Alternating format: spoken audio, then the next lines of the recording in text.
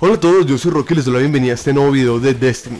En esta oportunidad les voy a mostrar cómo pueden conseguir el logro o trofeo llamado el azote de los Kel, en el que tienen que matar a 25 caídos con disparos precisos sin morir.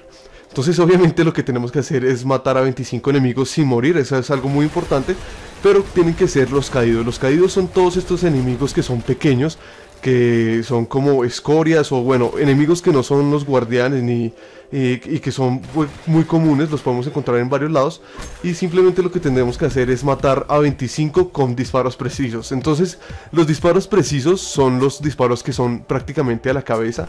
Entonces, siempre que disparan a la cabeza les aparecerá un puntaje amarillo y cuando no le dan a la cabeza les, les aparecerá el puntaje en blanco. Entonces esto es lo que tienen que hacer, siempre apuntar a la cabeza es lo mejor. Traten de conseguir armas que sean que no tengan tanta cadencia, que sean armas de pronto de menos disparos para que les sea mucho más fácil obviamente disparar a la cabeza.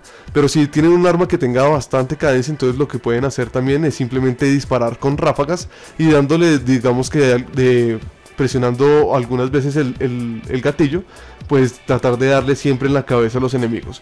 Una vez que ya hayamos hecho esto de, matar a, 25 enemigos con disparos precisos y que sean obviamente caídos, que son como les digo eh, enemigos bastante comunes como escoria y, y, todos estos, en una misión pues conseguiremos el logro o el trofeo. Este logro o trofeo lo pueden conseguir en cualquiera de las misiones, no es necesario hacer la primera, pero aquí yo lo estoy mostrando como lo hice en la primera.